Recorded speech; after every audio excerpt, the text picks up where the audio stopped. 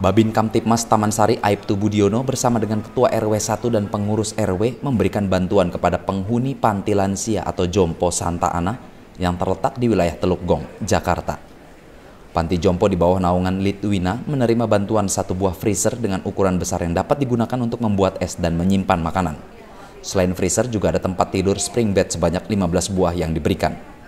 Penghuni panti itu sendiri berjumlah 74 orang dengan 28 orang laki-laki dan 46 orang perempuan.